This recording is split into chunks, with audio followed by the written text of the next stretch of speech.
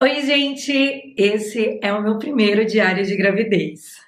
Se essa é a sua primeira vez aqui no meu canal, eu falo sobre ciências cosméticas e cuidados com a pele. Porém, eu estou grávida e muitas pessoas têm me pedido para compartilhar um pouco mais da minha gravidez. Eu fiquei pensando em como eu faria isso e eu cheguei nesse formato de vídeo que eu espero muito que vocês gostem e que não seja só mais um diário de gravidez. Então, eu pretendo falar sobre os aspectos físicos, emocionais, update de pele, porque obviamente essa é a temática aqui do canal. Então, como está a minha pele naquele trimestre, e não só a pele do rosto, como também do corpo, cuidados corporais e, por fim, a alimentação.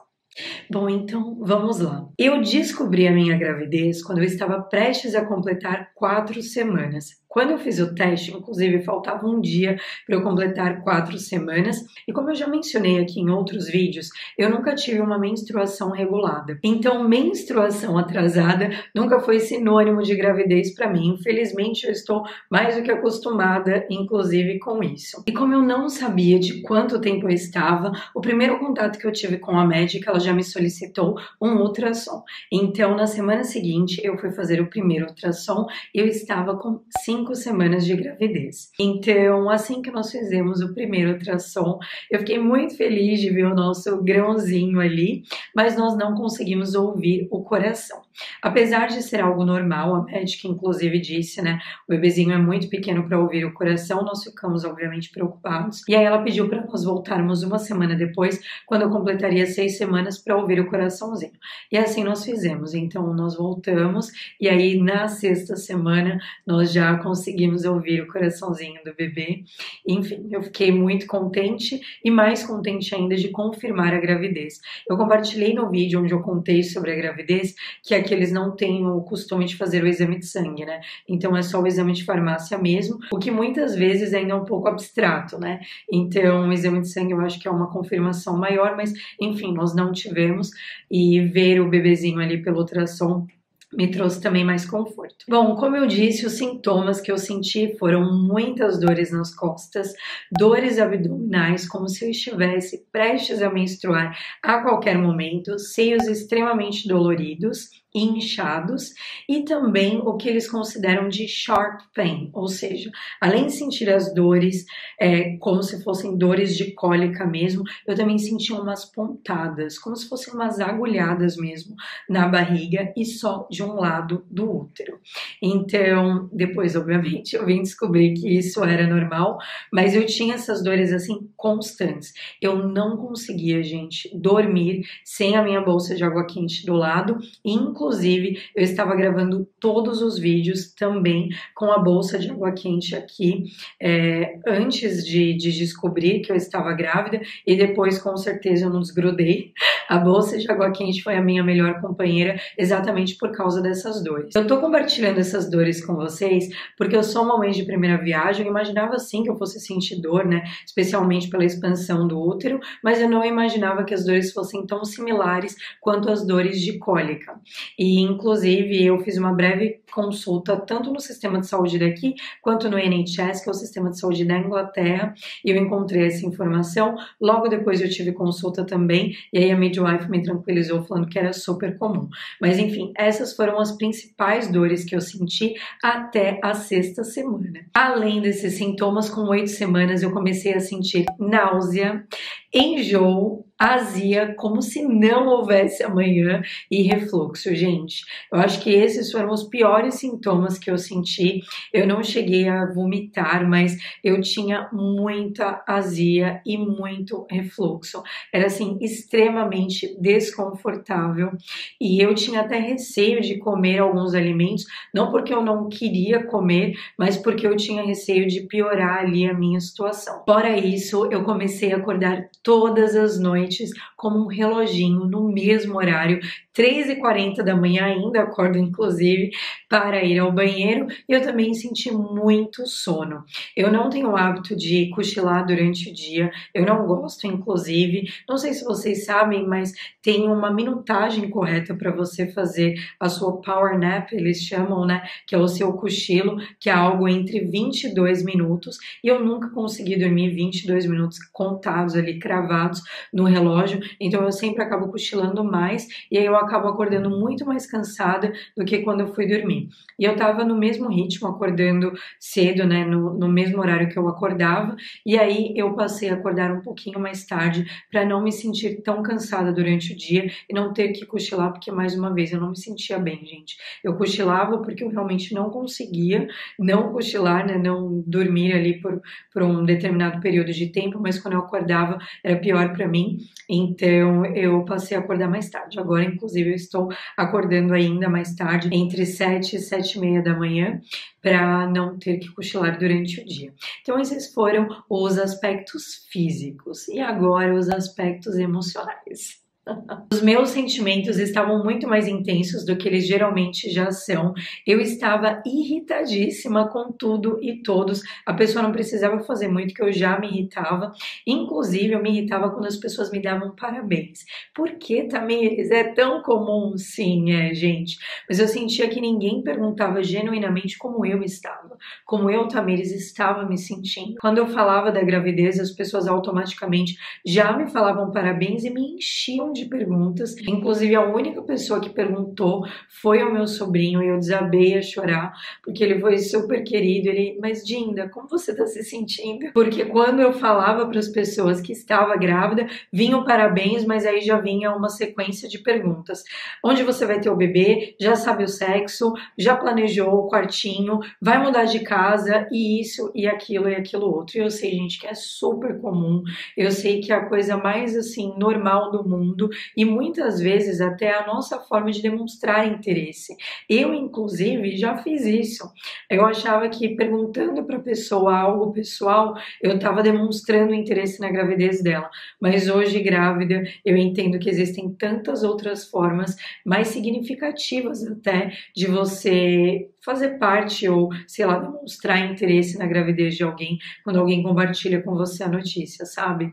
Então, eu ainda estou bem emotiva, tá, gente? Espero não chorar nesse vídeo, mas enfim, foi algo que eu senti, sabe? Porque parecia que eu tinha que preencher ali todo o questionário de perguntas que a pessoa estava me fazendo, quando na verdade eu tinha acabado de me encontrar em uma situação completamente nova para mim, algo que eu não sabia, né? Eu não, não tinha ideia também, por exemplo, do sexo do bebê, ou onde eu teria o bebê, ou nada do tipo.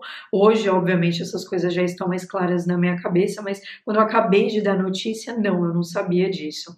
Então, então, essa também foi uma das perguntas que me irritou. E também a famosa pergunta: foi planejado?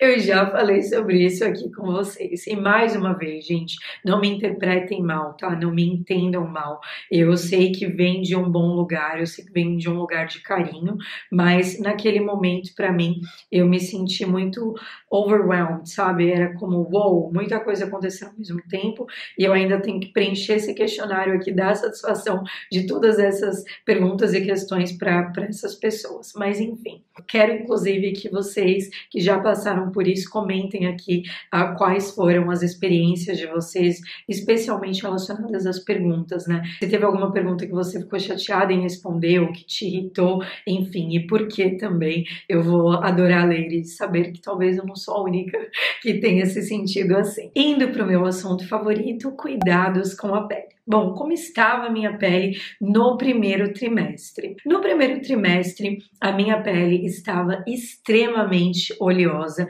Eu já estava me preparando psicologicamente para ter acne, porque eu tenho a pele oleosa e propensa a acne. Então eu imaginei que eu tivesse um grande pico de acne, mas curiosamente eu não tive. Eu tive acnes pontuais, inclusive dá para contar nos dedos de uma mão, se não me engano, eu tive acne duas ou três vezes. E, enfim, eu não tive nenhum grande pico de acne. E nesse primeiro trimestre, eu acabei introduzindo produtos com texturas diferentes, porque eu geralmente utilizo produtos com texturas mais hidratantes, mais emolientes, e pelo excesso de oleosidade, eu acabei optando por produtos com acabamento mais mate, o que é algo completamente diferente para mim. Então, eu até comentei na minha rotina de cuidados com a pele durante a gravidez que eu utilizei, por exemplo, o Sunprice, o protetor solar de Etude House, que ele tem esse acabamento mate, porque os meus protetores favoritos, os Essence, têm a textura levemente mais hidratante, naquele momento não estava confortável para mim. Mas a única mudança mesmo foi a textura do protetor solar celular. Então, eu não mudei as texturas dos meus hidratantes faciais, por exemplo, não. Continuei utilizando todos os produtos que eu já utilizava, só o protetor mesmo que eu fiz essa mudança. E a grande mudança na minha rotina em si foi a suspensão de medicamento tópico para acne. Eu voltei a utilizar medicamento tópico para acne no ano passado, e inclusive pela primeira vez eu tinha iniciado o uso de medicamento oral. Não é a isotretinoína, não é o Roacutan, Inclusive, conversando com os meus amigos dermatologistas aí do Brasil, eles falaram que eles já nem prescrevem esse medicamento que eu utilizava aqui. É um medicamento, inclusive, muito, muito mais um, leve, se é que eu posso dizer assim, do que a isotretinoína. Enfim, também suspendi o uso do medicamento oral. Então, essas foram as grandes mudanças na minha rotina. E a minha pele, como eu disse, estava uma pele relativamente normal. Eu só estava ali controlando a oleosidade, obviamente, continuei utilizando os produtos que eu já utilizava. Isso no primeiro trimestre. Já no segundo, vocês aguardem o próximo vídeo. Cuidados corporais. Eu sei que muitas pessoas têm dúvidas em relação aos cuidados corporais na gestação por causa das estrias, mas o fator que vai realmente definir se você vai ter estrias ou não é a genética. É claro que o aumento de peso também tem grande influência nisso, mas a genética sempre fala mais alto. Eu trouxe aqui alguns dos produtos que eu utilizei, inclusive foi bem diferente para mim porque eu utilizei cosméticos corporais sem fragrância, algo que eu nunca faço. Eu gosto muito dos meus cosméticos perfumados. Já compartilhei, inclusive, alguns dos meus cosméticos corporais favoritos, que são os hidratantes corporais de Malone. Eu falei sobre eles em um vídeo de acabados. Se vocês não assistiram, eu vou deixar o link aqui no card. Mas eu optei por cosméticos sem fragrância, porque eu realmente estava mais enjoada e eu estava com receio de não conseguir usar ali os cosméticos e depois até enjoar da fragrância ou pegar ranço da fragrância, que infelizmente isso acontece, isso aconteceu com a minha irmã. Lembro que a minha irmã usava um creme corporal que ela adorava fragrância, e ela tentou utilizar na gravidez, enjoou do creme e nunca mais conseguiu usar. Então eu nem cheguei perto dos meus cosméticos de Malone nesse primeiro trimestre, exatamente para não enjoar. Bom, eu começo o processo de hidratação da minha pele ainda no banho. Se você me acompanha há bastante tempo, com certeza você vai lembrar desse combo. São dois produtos que eu utilizo há muitos anos. Eu comecei a usar esses produtos quando eu ainda morava na Áustria. Se essa é a sua primeira vez aqui no meu canal, eu morei na Áustria por cinco anos e atualmente eu moro na Holanda há quatro anos. Os dois produtos são Nivea e eu falava deles, gente, desde o Snapchat. Então, se você me acompanha nessa época, com certeza você você se lembra. O primeiro é o Body Milk e o outro é o Shower Oil. O Shower Oil, eu acho que ano passado ou ano retrasado ele começou a ser falado aí no Brasil e com certeza vocês já viram o produto. Eu adoro os dois produtos. O Body Milk, ele é literalmente uma loção hidratante de banho. Ele é enxaguável, assim como o Shower Oil, né? Os dois são enxaguáveis, mas ele é aconselhado a ser utilizado após o seu sabonete corporal, então após higienizar a pele. Já o shower oil você pode utilizar em qualquer momento, você não precisa higienizar a pele antes. Eu adoro os dois, apesar de ter um sensorial emoliente, eles não deixam um residual muito espesso na pele, então nada interfere depois no meu hidratante corporal. Então esses são os dois produtos que eu utilizo no banho, além obviamente do meu sabonete corporal.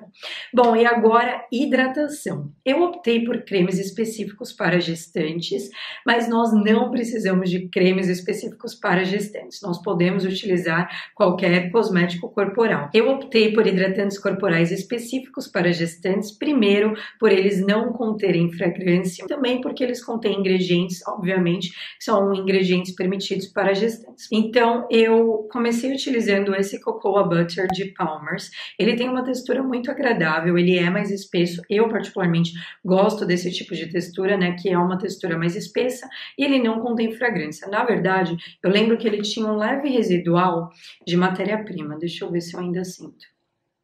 É, sinto. eu tô abrindo, gente, porque como ele é espesso, tem só um pouquinho de nada lá dentro. E eu tenho até que virar a embalagem. Ele tem uma leve fragrância de matéria-prima, não me agrada muito, mas obviamente era muito melhor do que utilizar os meus cremes corporais com fragrância e me enjoar da fragrância. Outro creme que eu usei nesse primeiro trimestre, inclusive eu estou usando até hoje, essa é a minha segunda embalagem, é o creme de mustela. Esse creme também não contém fragrância e apesar de ter o sensorial mais fluido do que o Palmer's, ele deixa um acabamento muito mais bonito na pele do que o Palmer's. Pelo pelos ingredientes emolientes do Palmer's, eu esperava que ele deixasse um vício mais intenso do que o Mustela, mas muito pelo contrário. O Mustela deixa a pele com um vício muito mais bonito e eu adoro pele iluminada, pele viçosa, tanto a pele do rosto quanto a pele do corpo. Então, o que eu mais gostei nele foi isso, além, obviamente, de ele não deixar a pele grudenta. O Cocoa Butter também não deixa, mas ele tem o sensorial mais pesado do que o Mustela. Eu me sinto muito mais confortável para me vestir após a aplicação do Mustela do que eu me sentia com o Palmer's, porque o Palmer's a minha roupa acabava grudando um pouquinho, já com o Mustela não. Então, excelente produto, mais uma vez continuo usando até agora. Outros dois produtos, e esses foram recebidos, eu não comprei, eu ganhei da marca, são os hidratantes corporais de Soul Kind. Soul Kind é uma marca dinamarquesa que tem um foco em cosméticos corporais para mamães e bebês. E eles me enviaram um kit deles. Eu cheguei a compartilhar lá no Instagram, inclusive, a Belly Mask deles, que é uma sheet mask para você aplicar na barriga, obviamente para ser aí também um outro veículo de hidratação. E eles têm duas versões. A versão que eu mais uso, como vocês conseguem ver, é a Silk Essential. Também não contém fragrância. Ele tem a textura, inclusive, similar ao do Mustela, mas eu acho a Soul Kind um pouco mais aguada, tá? O Mostela ele é um pouco mais encorpado. Então, gosto muito também do produto. E eles têm também a versão Love Lines, que seria uma versão mais emoliente. Como vocês conseguem ver, é realmente uma pastinha super gostosa também, fácil de aplicar, apesar de ser extremamente emoliente. Quando você aplica, você acha que vai ficar super branco na pele, mas ele some com facilidade e eu também não sinto o desconforto da roupa grudando logo depois de me vestir, sabe? Então eu tenho gostado bastante. E por fim, o outro hidratante corporal que eu usei foi o único com fragrância que eu consegui usar, foi o Native Spa Karité de Boticário. Gente, eu não estava com grandes esperanças para esse produto, porque eu realmente não sabia o que esperar, mas que fragrância maravilhosa. Infelizmente, eu não vou nem conseguir fazer swatch para vocês, porque eu realmente já não tenho mais o produto. Eu fiz uma compra com a Tatiana aqui na Holanda, que é uma brasileira que revende Boticário. E aí a Tatiana me presenteou, como eu fiz uma compra grande, com esse creme eu realmente não estava esperando e eu me apaixonei. Inclusive, eu quero comprar comprar, ele contém 200 gramas e eu não sei em quanto tempo eu usei ele, mas eu acredito que em menos de um mês, porque ele é realmente muito gostoso. Se fosse comparar a textura dele, eu diria que ele é tão emoliente quanto o Love Lines de Soul Kind, ou seja, essa versão aqui, mas ele tem uma espalhabilidade incrível e ele também se difunde na pele muito bem. Então, gostei muito do produto. Bom, esses foram os meus cosméticos corporais. Ah, faltou um último produto, que é esse body spray de Ted Baker. Falei para vocês que eu estava com receio de usar as minhas fragrâncias e me enjoar, enfim. Então, eu ganhei da minha sogra no Natal esse kit Ted Baker, que tem uma body lotion e também acho que um creme para as mãos e esse body spray. Gente, eu não tava dando nada para isso, nada, nada mesmo. Mas ele tem uma fragrância tão gostosa, é um floral levemente adocicado. Eu sempre falo isso para vocês, né? Mas ele é mesmo, é super, super gostoso. Ele contém 50 ml e se eu não me engano, vocês encontram na Boots de Londres, tá? Ele também veio com uma necessaire belíssima com flores. Então a minha sogra viu e me presenteou, enfim, eu adorei. Essa foi a única fragrância que de fato eu consegui utilizar é, nesse primeiro trimestre. E agora eu vou compartilhar com vocês as primeiras primeiras compras do bebê. E aí vocês vão pensar que o que, que eu comprei? Roupas? Não. Cosméticos? claro, né, gente? Tinha que ser. Mas Tamires, como assim? Por que cosméticos? Bom, assim que eu saí da minha primeira consulta com a midwife, eu não sei se a tradução correta em português seria parteira ou enfermeira obstetra, mas enfim, a pessoa que faz o nosso acompanhamento gestacional aqui, né, ela quem cuida do, do, do meu pré-natal, é, a midwife nos presenteou com algumas coisas e entre essas coisas tinham o que? Cosméticos. E o primeiro cosmético é o Lip Car Balm e também um mini Bepantol. Gente, eu não sei se eu já falei para vocês, mas eu sou viciada em Bepantol. Eu não vivo sem Bepantol aqui em casa e o Bepantol que eu utilizo é realmente o Bepantol Baby, tanto nos lábios, quanto para hidratar as minhas cutículas, quanto para qualquer outra parte do meu corpo que eu queira uma hidratação mais substantiva. Então, assim que eu saí de lá e ela me presenteou com isso, inclusive ela disse, Altamires, o Lip Car é muito importante por causa da qualidade da nossa água, né? A qualidade daqui, gente, da água daqui é muito boa, mas é calcária. Eu já cheguei a falar sobre isso aqui com vocês. Então, eles têm até hábitos de banhos diferentes do que os nossos, exatamente por causa disso. E mesmo você comprando filtro, todas as casas têm filtros no chuveiro, né, para reduzir o calcário, né, o, o lime scale. Ainda assim, nós temos cuidados corporais diferentes por causa da qualidade da água. E foi assim como um estalo, assim que eu saí de lá, eu já fiz as minhas pesquisas, encontrei inclusive alguns dos cosméticos que eu queria comprar, e eu não comprei muita coisa, eu vou deixar para comprar mais na reta final, né? Até mesmo porque eu ainda não tenho um espaço preparado para o bebê. Eu ainda não arrumei o quarto do bebê, então eu não quero também comprar as coisas para deixar espalhada pela casa. Enfim, a minha primeira compra foi esse hidratante facial de Mustela. Comprei também esse Cicaplast, que é para pele de bebês, crianças e adultos, né? Mas é uma pele sensível e ele é um gel de limpeza. Então eles falam que você pode usar da cabeça aos pés e é realmente um sabonete corporal Comprei também duas pomadas formadoras de barreira para a troca do bebê e essas eu comprei por indicação de doutora Iana Kelly, médica dermatologista. Doutora Iana também estava gravidinha, agora o bebezinho dela já nasceu, que é o Baby Henrique. Gente, ele é a coisinha mais fofa do mundo. Ela compartilhou lá no Instagram dela as compras cosméticas dela também e aí ela compartilhou as pomadinhas Desitin e eu comprei a versão versão azul para uso diurno e a lilás para uso noturno, que ela é mais espessa. As duas são pomadas para formar barreira, elas contêm o óxido de zinco, né, como ingrediente, então são pomadinhas que ajudam a formar filme mesmo na pele do bebê, obviamente, para proteger contra a urina e fezes. Aqui nós temos também a Suda Cream, que é super famosa, é a hipogloss deles, é super fácil, inclusive, de encontrar.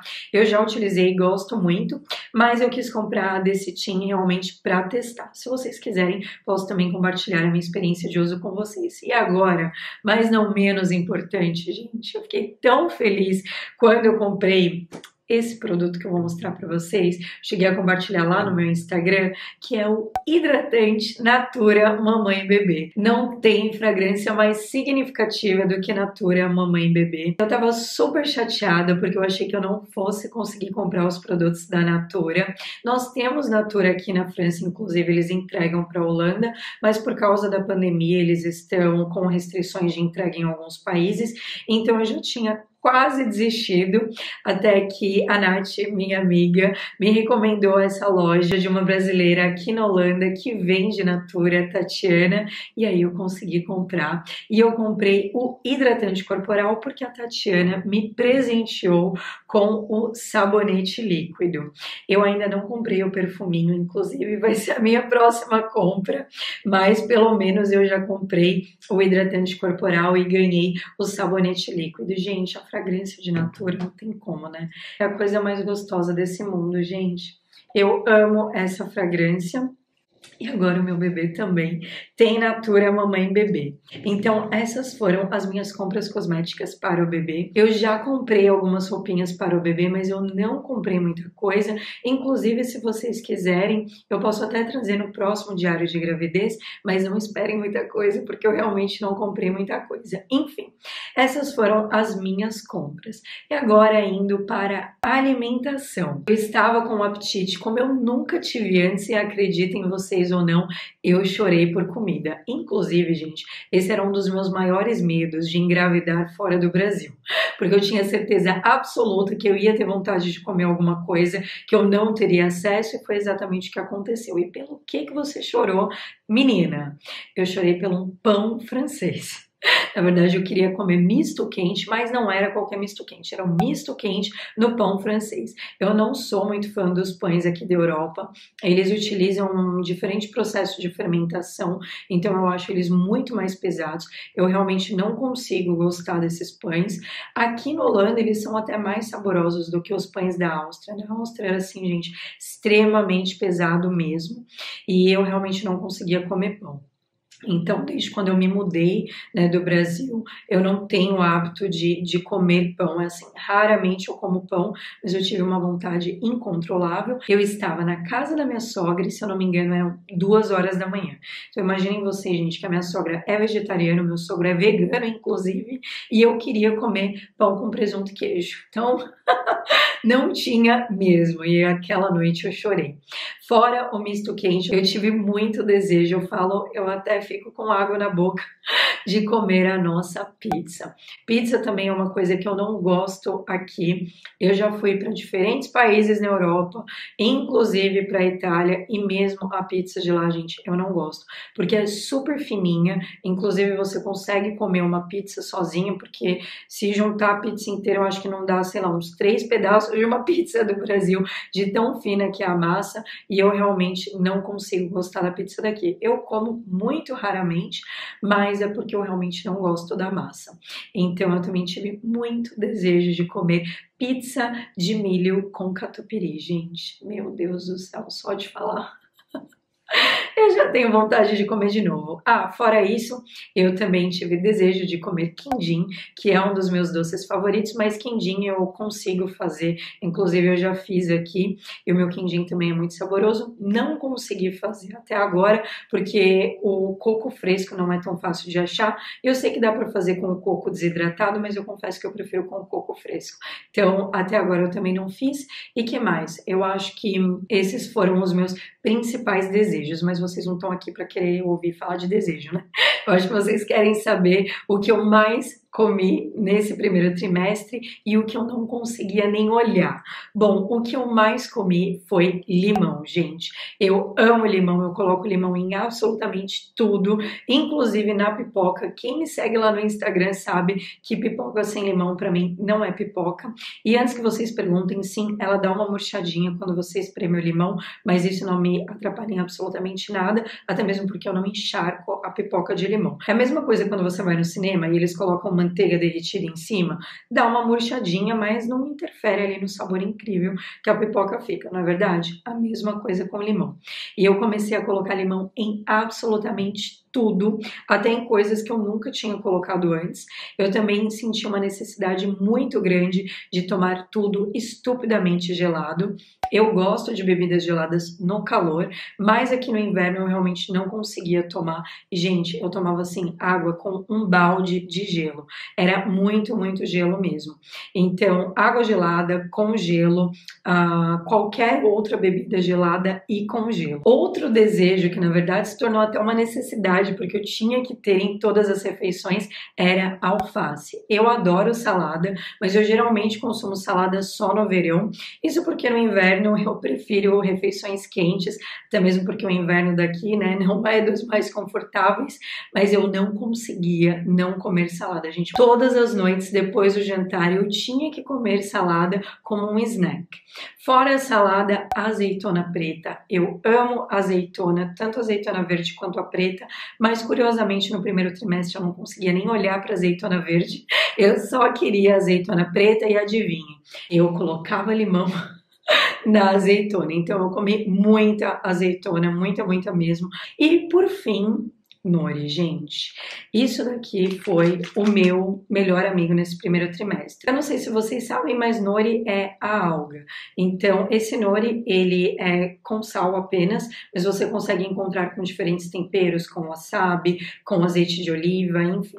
Essa versão é a menos calórica, por isso é a versão que eu comprei e consumi. Agora também já passou um pouco da minha vontade de Nori. E comidas brasileiras, tapioca, que eu encontro aqui, inclusive com facilidade. Todd, gente, eu amo Todd, eu sou Team Todd, não me venha com Nescau, então Todd. E por fim, balas e chicletes.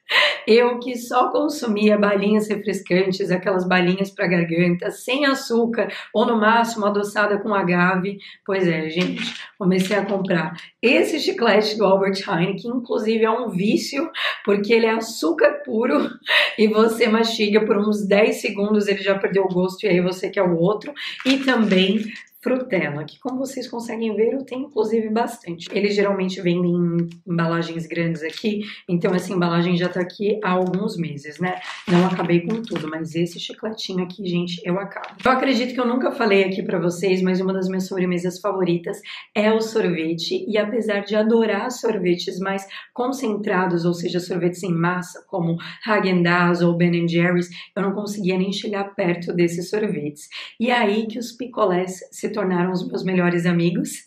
Eu já tinha me apaixonado pelo picolé de pêssego antes da gravidez. Se você não me acompanha no Instagram, você não está sabendo, mas tem um picolé de pêssego sul-coreano incrível que eu comprei no supermercado asiático aqui no Holanda. E esse picolé, gente, olha, de falar, eu já salivo. Ele é muito saboroso. Então, quando eu sentia vontade de comer algum outro doce, eu optava pelos picolés. Ou esse de pêssego, ou um picolé de frutas. Eu não me lembro o nome do sorvete, vou deixar aqui na tela para vocês. E ambos tanto esse picolé de frutas que eu encontro no supermercado convencional daqui, quanto o picolé sul-coreano, eles têm baixas calorias. O sul-coreano, se eu não me engano, tem 60 e esse tem 40. E por fim, os alimentos que eu não conseguia nem chegar perto. Para minha surpresa, feijão. Eu sou apaixonada por feijão, tanto feijão carioquinha quanto feijão preto, e eu não conseguia sentir o cheiro de nenhum dos dois. Só de sentir o cheiro do feijão já embrulhava meu estômago. Então, feijão eu não consegui comer nesse primeiro trimestre. Leite de aveia, inclusive eu voltei a tomar leite de vaca na gravidez, porque eu não tomava desde 2016 eu acho que foi em 2016 eu tinha parado de tomar leite de vaca. Pois é, gente, eu não conseguia chegar perto do leite de aveia nesse primeiro trimestre. E para minha surpresa, chá. Eu acho que eu já falei para vocês o quão apaixonada eu sou por chá. Eu gravava todos os vídeos com a minha xícara de chá aqui do meu lado. Agora eu tenho meu copo de água. Sem brincadeira, gente, eu tomava de 3 a 4 xícaras de chá por dia, porque eu tomava chá no meu café da manhã, no meu almoço, no jantar e antes de dormir. Não era sempre, né, quatro realmente por dia, mas eu consumia, assim, uma grande quantidade de chá por dia e eu continuo gostando, mas nesse primeiro trimestre eu realmente não consegui nem chegar perto de chá. E esse foi o meu primeiro diário de gravidez. Eu espero muito que vocês tenham gostado desse formato. Se vocês sentiram falta de algum assunto específico, por gentileza, deixe aqui nos comentários. Se vocês quiserem que eu agregue algo a mais no próximo diário de gravidez também. Como eu disse, esse é o diário de gravidez do primeiro trimestre e eu pretendo fazer um por trimestre, então nós temos apenas mais dois. Essa é a minha ideia inicial, mas se vocês tiverem alguma outra sugestão, fiquem à vontade para deixar aqui nos comentários. Não se esqueçam de curtir, é muito importante para o canal, e de comentários. Comentários comentários de vocês me motivam muito, me deixam mais animada para gravar e também de compartilhar, porque obviamente ajuda na divulgação do meu trabalho. Beijo grande, fiquem com Deus. Não sei como eu encerro esse vídeo. Let's go together. Vai cuidar da tua pele. Não se esqueça do protetor solar e eu vejo vocês no próximo vídeo. Espero muito que vocês tenham gostado, gente. O senhor, meu marido, está bravo comigo porque eu não sei nem que horas são. Eu estou gravando horas a fio, 20 para as 8 da noite. Agora, todos os dias, aliás, todos os vídeos Eu estou terminando depois das sete da noite. Graças a Deus, graças a Deus, nós estamos no horário de verão, então nós temos luz, claridade. Inclusive, se a iluminação atrapalhou, eu já peço desculpas adiantadas. Mas enfim, é isso, gente. Beijo e até o próximo vídeo. Tchau! Aliás, tchau! Gente, olha o tamanho dessa barriga, tá tão grande. Eu estou super surpresa com o quão rápido tudo isso está passando.